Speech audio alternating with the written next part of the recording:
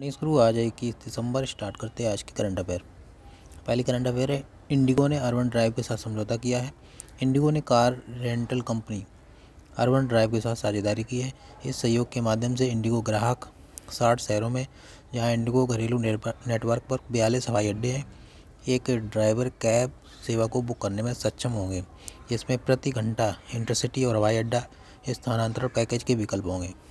यात्रियों को सेवा के लिए कोई प्रतीक्षा या रद्द शुल्क नहीं देना होगा। नेक्स्ट करंट अफेयर है, राजकुमार हैरी ने डब्ल्यू के साथ साझेदारी की घोषणा की है। ब्रिटेन के राजकुमार हैरी और मेगन मार्कल ने घोषणा की है कि उनके नए दान ने विश्व सेंट्रल किचन और इसके सेलिब्रिटी सेफ़ के साथ भागीदारी की है। वे दुनिया भर के आपदाग्रस्त इलाकों में लोगों को खाना खिलाएँगे।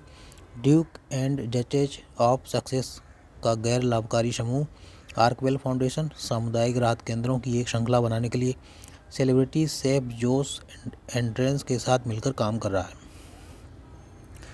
नेक्स्ट करंट अफेयर है हुंडई इंडिया ने ग्रेट इंडिया ड्राइव को हरी झंडी दिखाई। हुंडई मोटर इंडिया लिमिटेड ने 20 दिसंबर 2020 को ग्रेट इंडिया ड्राइव के 2020 अध्याय को हरी झंडी दिखाई। नया अभियान हुंडई के वैश्विक विजन प्रगति के लिए मानवता पर केंद्रित है। ग्रेट इंडिया ड्राइव का यह चौथा संस्करण नई दुनिया और नए सामान्य में सामाजिक मूल्यों के महत्व पर ध्यान केंद्रित करेगा। यह प्रतिकूलताओं के सामने मानवता की प्रगति को संबोधित करेगा।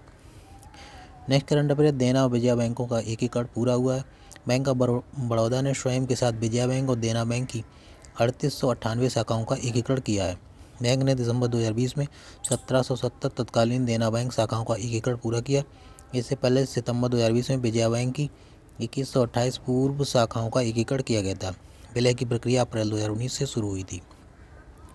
Next current affair Nand Kishore जो है आईएल एंड एफसी के निदेशक नियुक्त नियुक्त किए गए हैं। Infrastructure Leasing and Financial Services ने बताया कि कारपोरेट मामलों के मंत्रालय ने समूह के कार्यकारी निदेशक के रूप में नंद किशोर की नियुक्ति को मंजूरी दे दी है।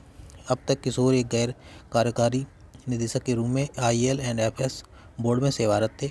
अक्टूबर 2018 में सरकार ने आईएल एंड एफएस समूह का नियंत्रण जब्त कर लिया था। और दिग्गज बैंकर उदय कोटक के नेतृत्व को बोर्ड को ला दिया था।